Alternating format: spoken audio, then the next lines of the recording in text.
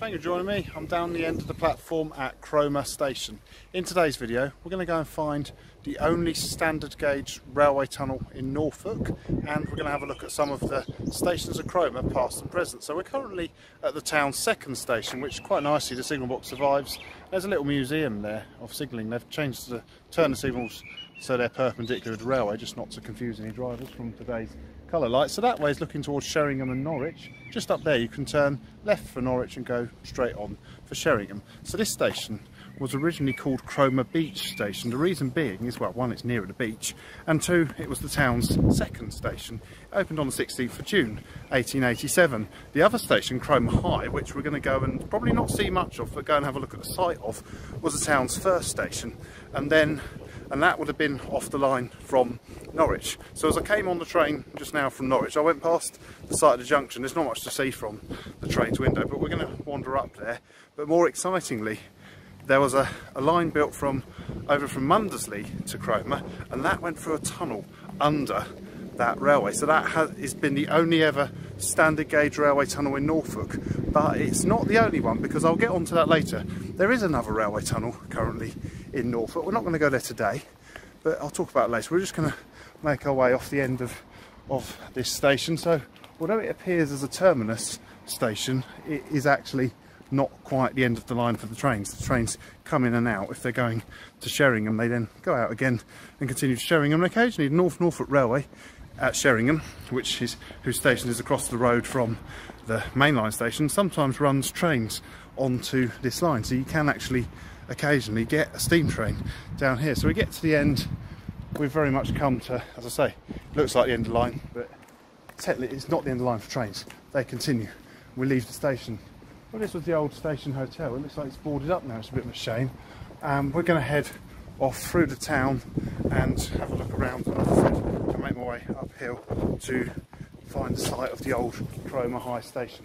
I've now been walking for the past 20 minutes or so up a hill. People who say Norfolk is flat possibly don't know too much about Norfolk because there's hills everywhere in Norfolk. They're just not the same sort of altitude you'd find in other parts of the UK. Now the station we're looking for is Cromer High and that's appropriate because we've been coming up high. I believe it was up there. There's not a great deal to see but if you look at this path, well first you've got a post here made out of an old railway sleeper and um, there is an old bit of rail.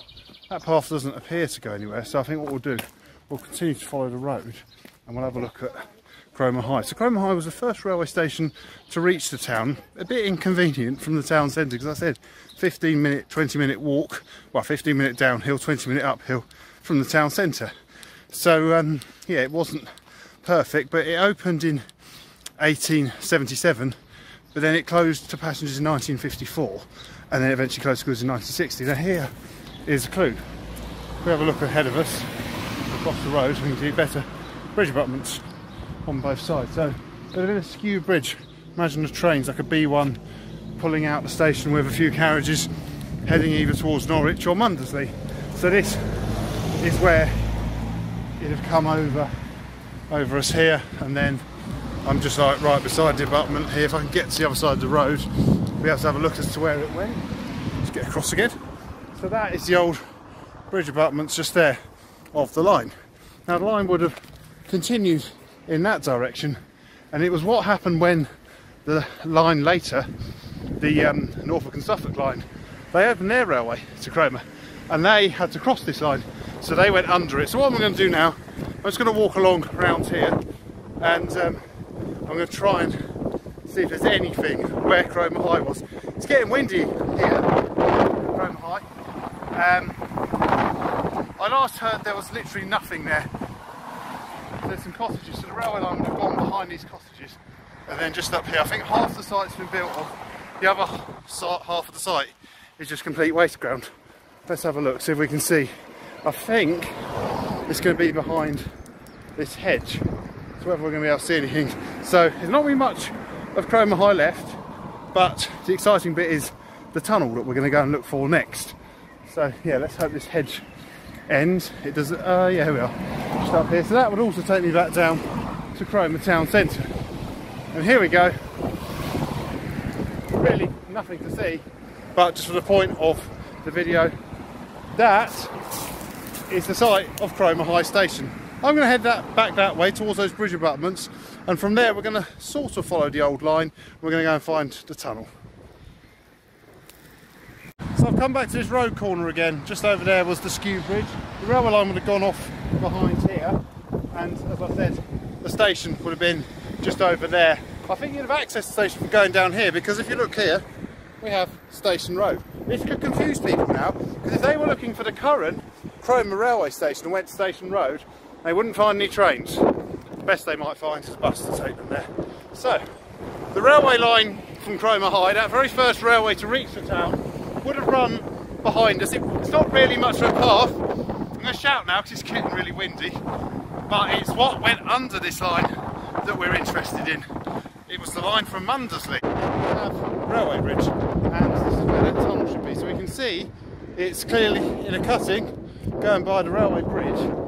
But what we're hoping to do is have a look at the tunnel. So this is a modern bridge. Should be, yeah, there we go just there is the Cromer Tunnel. A moment ago I was just up there, pretty guessing what I've done, come down. That's the road bridge and there in all its glory in front of us is the only standard gauge railway tunnel in Norfolk. Now the title of the video, there's only ever been one railway tunnel in Norfolk. It's sort of true and it isn't. This is the only ever standard gauge railway tunnel in Norfolk, which as I walk into it's nice and cool. By the way, I just walked down the side there. There's nothing saying don't come down here. So here we are, we're inside the only standard gauge railway tunnel in Norfolk. But I said it's not the only one because there was also there's the Bure Valley Railway, which I have visited in the past. Now have a look at link on screen now. That's one of my archive videos. That's when I visited the railway back in 2003. And I passed through a tunnel. Now, that tunnel is clearly shown, but that's a modern tunnel. When that Bure Valley Railway was a standard gauge railway, there was no tunnel. It was when the line was rebuilt as a narrow gauge line, the Aylsham bypass was built and rather than have a level crossing they built a tunnel so that's the other tunnel but this is the only ever purpose well it is purpose built as well but you know what I mean the only ever mainline tunnel has ever been in Norfolk and here I am I'm in it it's quite exciting got to place myself it is a bit full of rubbish at this end so that way is looking towards Mundesley and um, I'm now going to have to make my way back through the tunnel back up to the road and we'll go and try and get as close as we can to the junction with this line to where it joins the current line at Roughton Road. So this is the line to Mundesley. It was the last line to be built to reach the town. It opened as late as 1906, but it closed in 1953. There was a line from North Walsham to Mundesley, and then this was like an extension onwards. But then this closed, and then Mundesley back to North Walsham closed. But had it stayed open, trains could have potentially come this way and served Mundesley.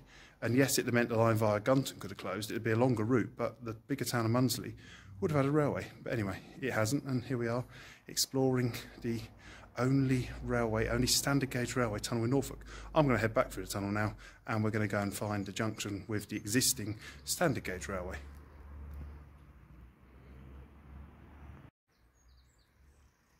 I always wanted to do this, standing in one of these alcoves, just in case like a ghost train or something comes along.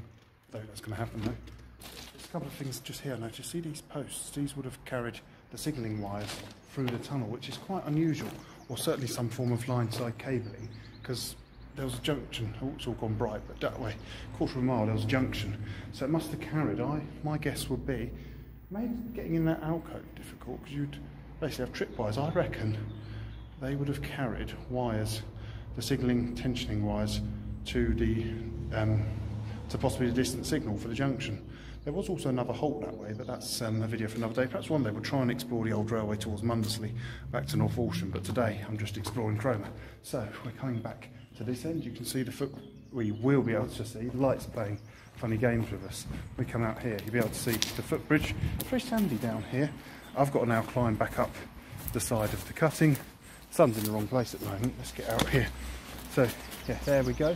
That's the footbridge where I was a moment ago. That's the road bridge. So I'm going to continue that way, and as I say, there's, it's all now blocked by houses. It's a housing estate.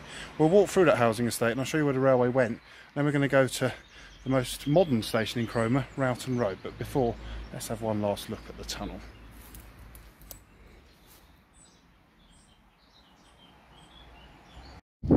So after all that fun of messing around in the tunnel, this part of the video probably doesn't look anything like as exciting.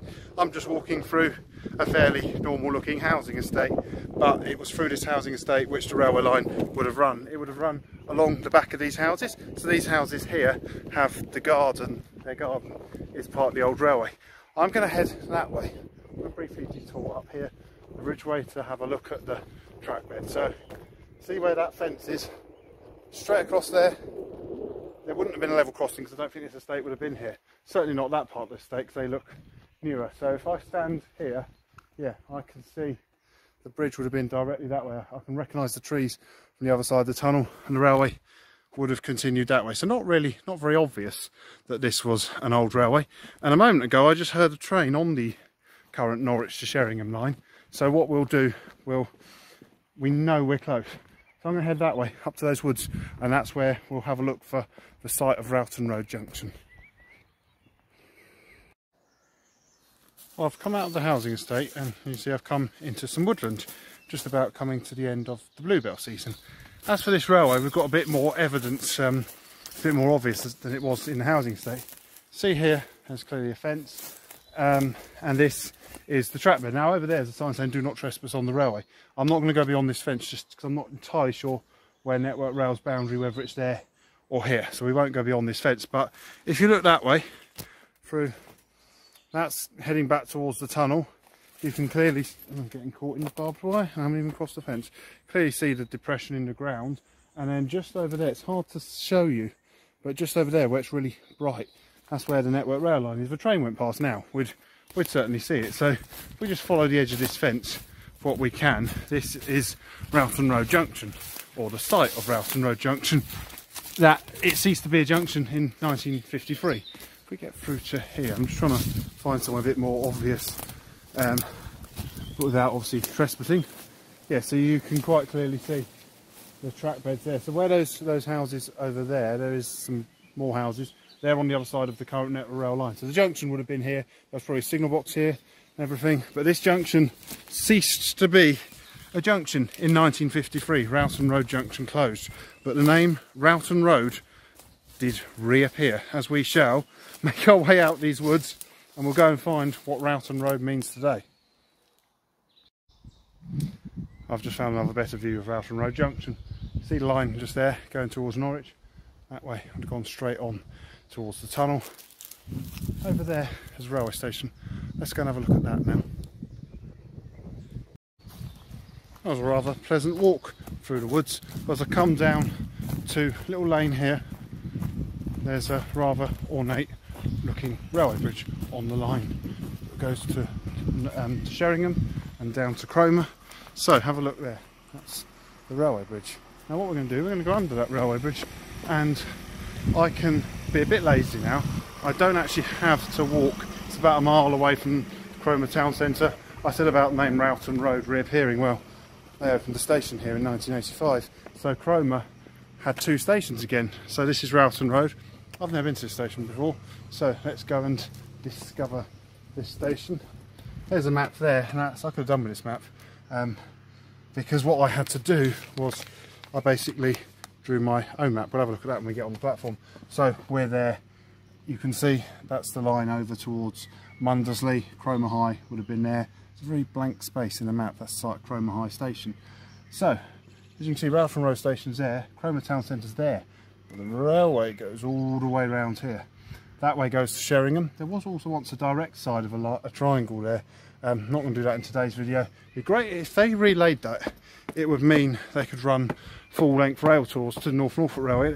Occasionally rail tours do run to the North Norfolk Railway, but due to the length of the um, station at Cromer, they can't be more than a certain amount of carriages, so you can't get the sort of 12 coach usual length of, of a rail tour you normally get. So that's why uh, they don't rarely, that's why rarely they run rail tours up here. So here we are, we are now coming up to um, Roughton Road Station. Train to Norwich that way, which I'll have to do later, but I'm going to go that way to West Runton and Sheringham, just because I can really. So it's a small little station, and also if we go to the end of the platform, we should be able to see a better view of Roughton Road Junction. So it's quite nice, although the junction name disappeared in 1953, the name Roughton Road came back. So a moment ago, we were kind of over there. These woods are all public. If, so if you ever came to Cromer, if you fancied a little bit of a walk and a bit of fun, you could actually get out here and walk the way I did, or the other way around. So I'll be catching a class 755. I've done a few videos of them in the past. Um, so do have a look at link on screen now to be able to see that. As soon as we're here, let's just have a quick look. This little map I drew, so you can basically see everything. So I've drawn out all the railways past and present. I'm going to sit here now, wait for my train back down to Cromer Town Centre. So I hope you enjoyed this video. Thank you very much for watching. Please do feel free to like, subscribe and comment. And from the newest railway station in Cromer, Roughton Road, goodbye.